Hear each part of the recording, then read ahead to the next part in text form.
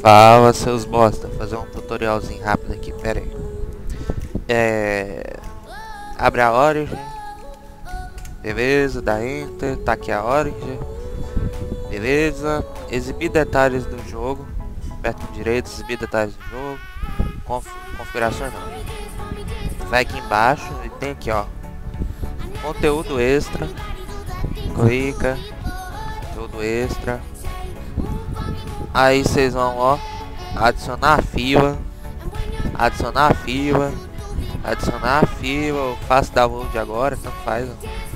Aí ó, já inicia, ó, as deve ser do BF, já inicia o download, já vai direto e é isso aí.